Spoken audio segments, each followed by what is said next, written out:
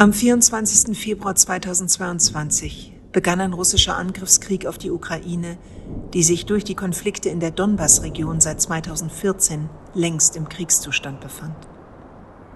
Die Länder Europas mussten angesichts der Entscheidungen Russlands Bündigkeit beweisen und tun dies seither. Eine Flüchtlingswelle von mehr als einer Million Menschen erreichte Deutschland. Unter den Geflüchteten zahlreiche Künstlerinnen und Künstler, die ohne ihre Werke, ohne Möglichkeit für die künstlerische Arbeit, ohne deutsche Sprachkenntnisse neu ansetzen müssen.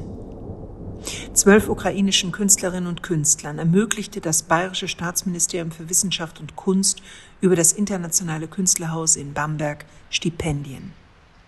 Nach dem Ende dieser fünf Monate langen Unterstützung sehen Sie kleine Einblicke in das Leben besonderer Persönlichkeiten, die, wie wir alle, auf ein Ende des Krieges und den Sieg der Ukraine hoffen.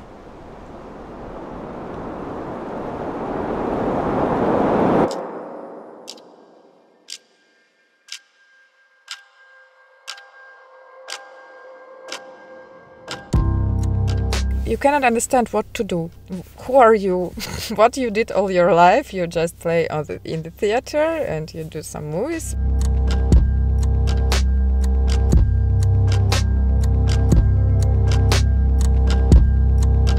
But how now help uh, people who are in Ukraine and fight against your enemy?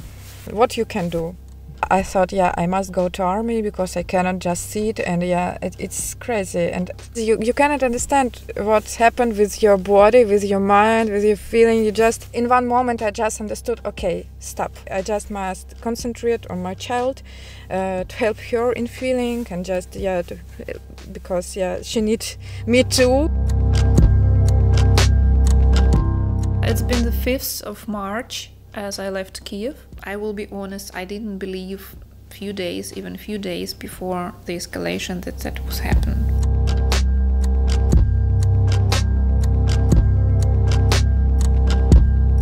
All my family is there. So my my mom, uh, she's visiting Vienna, but she's basically in uh, in Krivorog. Julia come to Germany before the tanks uh, uh, come to the city. Why? That's not possible. We are not in the 20th century. What tanks? What are you telling me? No, it was not understandable. You have not space in your mind to believe in all the atrocity that happened. I mean, there was several types of people before the war started. Some of people were panicking, some were preparing, some were denying, and I would say I was in between the last two.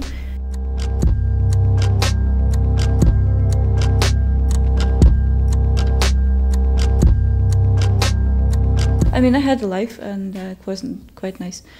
Uh, I was living in Kiev uh, for the last three years. Um, um, I found a beautiful apartment. I lived with a roommate and um, I was helping to create a theater, theater of playwrights in Kiev. I think war was affecting my art since 2014. I basically became a, a playwright in 2014.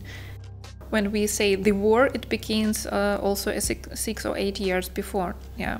Uh, this war is a hot period of escalation. Also, historical experience uh, for Ukrainians is all about the threat.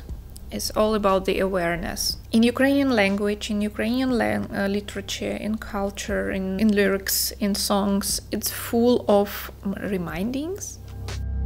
I used to work uh, more than 15 years in cultural management in another city in Ukraine, in Dnipro, and that's been successful years for me or like fruitful.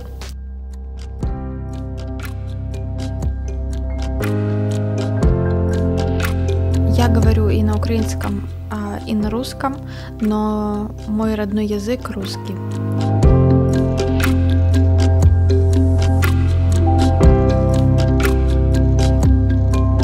Мои, я пишу стихи на русском. Я пробовала когда-то перевести их на украинский, но Это казалось невозможным, потому что я пишу довольно, довольно такие миним, минималистические тексты. И сначала я пишу много, потом очень сокращаю, и поэтому а перевести их, ну, по крайней мере, мне невозможно. Этот текст а, выиграл приз в Германии. А, премия называется «Авторы для Европы».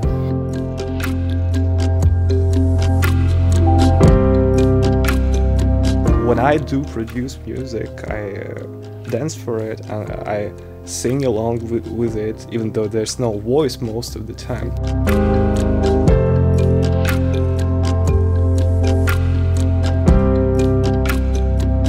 beginning of my working principles, uh, they're pretty close to Baroque era. I don't think this mu this music to be high cultured by no means. Uh, yeah, but I think this music to be genuine. What I do in my music, there's some sort of biologicalness. When you are an artist, it's like way of your life you see something that is a miracle, but also that is unshareable, that is not something that you can go then to someone else and tell that you saw it, but still it doesn't devalue your experience of your perception of that thing because it has happened at least to you and if you trust yourself at least to a tiniest degree it still happened and you witnessed that thing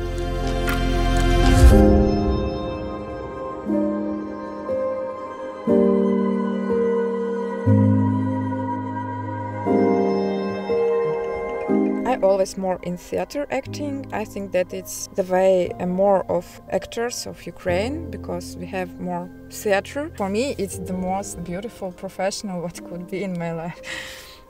Now we are in Munich. Hopefully, my daughter came to the school. We found one school and uh, also I will have two projects in Munich. But we want back home. I'm super thankful that I can stay here to be safe, to, to feel that my daughter is safe. Super nice, but I want to live in my uh, country with my people, with my friends, with my family. When my project will uh, finished, uh, we will go home.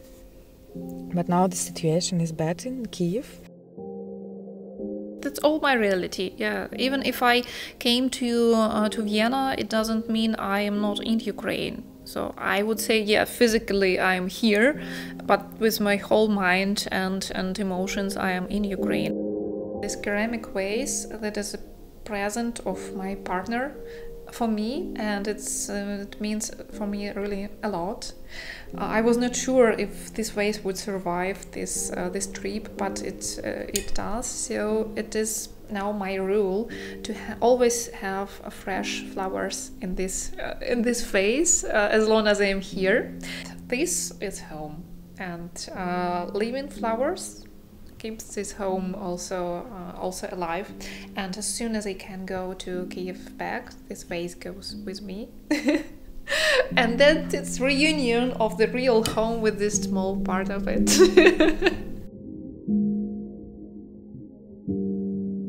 I mean, you cannot never write about others without writing writing about yourself because uh, you you have to find something that is connecting.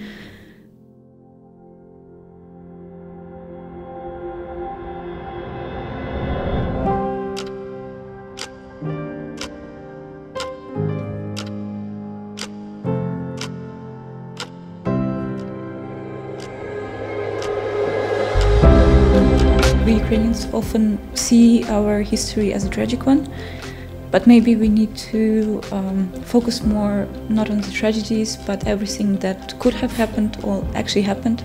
Through the through the words, through the text, we can kind of uh, return it to them.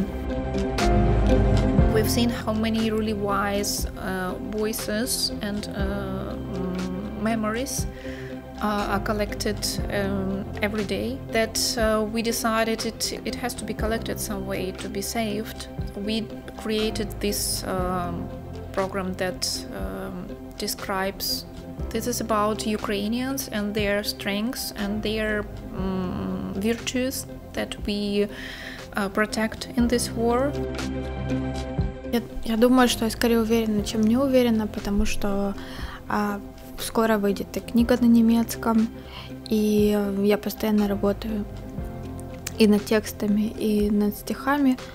А, конечно, сейчас со мной ребенок это утяжеляет процесс, но в основном а, я чувствую себя уверенно и что у меня есть силы для того, чтобы а, были какие-то новые достижения. Вот. I always think that in any way everything will be okay because if in this way will be bad, I will do something for the better. Yeah, because it's so situation, it's crazy. Sure, we cannot predict this, but I know for sure that Ukrainians uh, will fight. This is a reminder that no criminal institutions uh, must be allowed. Yeah, so we we should stand all together against the criminal social structures that affect our lives. That's why democracy is still is still our strongest strongest position.